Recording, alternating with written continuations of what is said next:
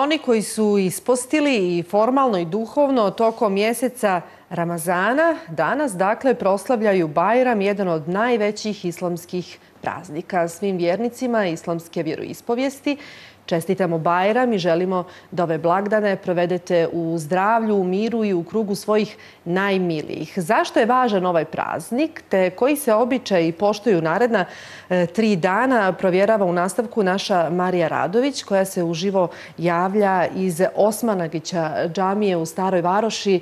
Marija, dobro jutro.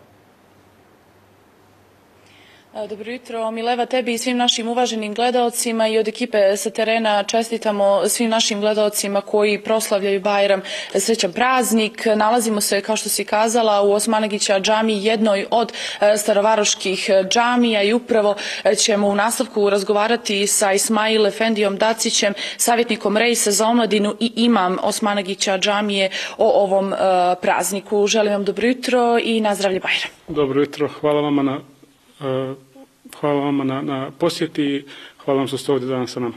Zašto je važan i po čemu je važan ovaj e, dan? Znamo da je Bajramu prethodio i Ramazan, mjesec posta. E, Bajram je jedan od najradosnijih e, islamskih praznika, jedan od... Kako će izgledati današnji dan širom Crne Gore? Da. Pa Bajram je jedan, kako ste rekli, od naša dva praznika, dva blagdana. Imamo Kurban Bajram i Ramazanski Bajram. Mi smo danas dakle započeli sa Ramazanskim Bajramom. On je specifičan po tome što iza njega je mjesec Ramazan u kojem su vjernici bili prisutni u džamijama, u kojem su vjernici imali dodatne, da kažem tako, i badete, odnosno e, više su prakticirali vjeru e, kroz post, kroz udjeljivanje milostinje, kroz noćne molitve i tako dalje. Tako da iz tog razloga ovaj e, blagdan specifičan, tak, zbog toga što mi u toku mjeseca Ramazana se trudimo da se što više primaknemo Bogu kroz uh, određene ibadetno, odnosno kroz određena dobra djela koja činimo, kako bismo ovaj dan dočekali na pravi način, radosni i veseli srca. Vi ste već jutro imali molitvu, e, je li tako? Šta vjernici obično rade u nastavku dana? Da, pa jesmo, mi smo ovdje imali jutros e, molitvu sabah namaz, odnosno jutarnju molitvu, a nakon toga i klanjali smo, dakle, Bajram namaz. Nakon što se Bajram namaz e, preklanja, vjernici onda obilaze svoje prijatelje, svoju e, braću, sestre, rodbinu, komši i tako dalje. Također obilazi mezari, mezari, odnosno groblje, gdje uče dove, odnosno molitve za one koji više nisu sa nama. Zašto je važan i po čemu je specifičan upravo ovaj islamski praznik? Pa on je važan, kako sam rekao malo prije, zbog toga što se mi danas radujemo, jer vjerujemo da nam je Bog oprostio grijehe koje smo, koje smo učinili prije.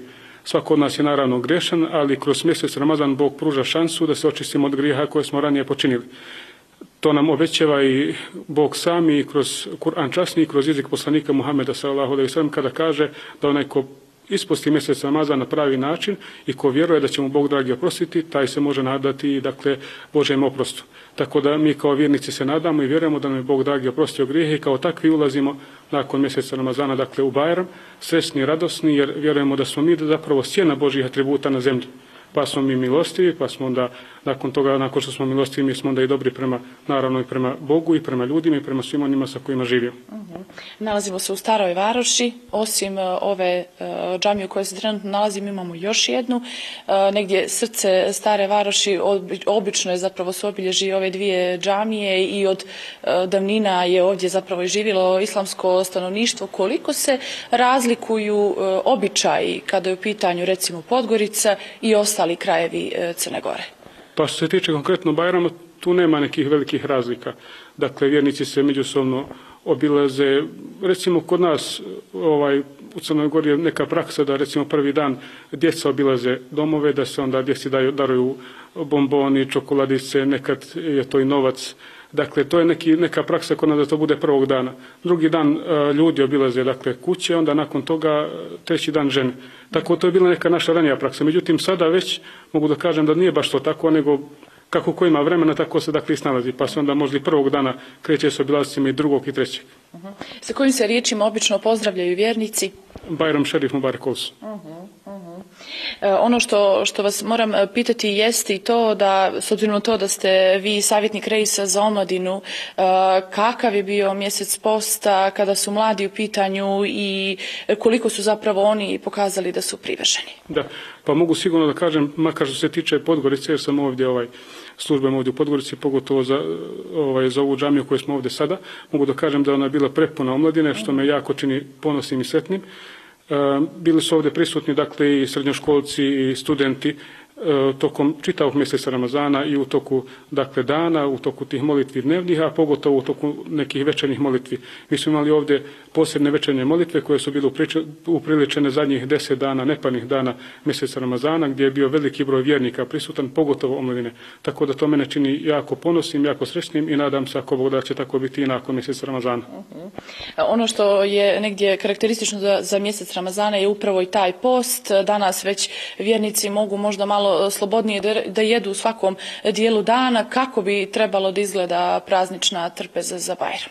Da, prije nego što odgovorim na to pitanje, mogu samo reći jednu stvar koja je vrlo bitna. Dakle, mi smo u toku mjeseca Ramazana se sustezali od te neke trpeze koja je nama vidljiva, ali smo se hranili, hranili smo naše duše sa duhovnom trpezom, okay. -huh. kojom je Bog dragi spuštao tokom svakoga dana u toku mjeseca Ramazana. Tako da smo mi na taj način napojili, nahranili naše duše, iako su naše tijela možda gladovalo toku dana, ali su naše duše bile ispunjene e, vjerom u Boga i nakon što duše naše ispunimo vjerom u Boga, onda smo mi mnogo bolji prema drugima koji nas okružuju. A što se tiče onih trpeza koje su vjernici pripremali, koji pripremaju dakle, da od današnjeg dana pa i naredna tri dana, e, to je nešto što je običajno kod nas, dakle, kada se obilaze e, komšije, brastvenici, prijatelji i tako dalje, to su, ne znam, neki kolači, pogotovo kod nas je ovaj popularna baklava, uh -huh. to je neki neizbježan, neizbježan, dakle, e, slatkiš koji se servira u svim domovima kod svih muslimana. Uh -huh. e, hoće li e, zapravo kako se obilježilo u ostalim krajevima Crne Gore, pretpostavljam da je već odrađena svuda ta jutarnja molitva? Da, jeste. U isto vrijeme, uh -huh. dakle u svim džamijama u Crnoj Gori, u isto vrijeme klanjan e, obavljena molitva jutarnja, a nakon toga i Bajram namaz. Eto, za kraj e, svim e, vašim vjernicima, prosto da još jednom e, čestitamo praznik. Da, prije nego što im čestitam, samo želim jednu kratku poruku uputiti njima. Dakle, budimo uh, iskažimo svoje poštovanje prema onima koji su stari. Onda budimo milostivi prema onima koji su mladi, iskažimo ljubav prema njima. Dajmo čast onima koji su omladine, koji su jaki. Onima koji su u potrebi, pomognimo ih. I neka je Bajram Šerif Mubarek Olsun. Hvala vam najljepše što ste izdvojili vaše vrijeme za boje jutro. Hvala vam.